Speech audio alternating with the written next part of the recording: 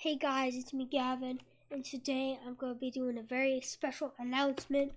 I'm going to be uh, coming back to YouTube and uploading a million videos, and you know, having a schedule at least one video per week on hopefully on Saturday. And and so since I'm going to have a schedule, you should you should check the date so that you'll know when I'll next upload.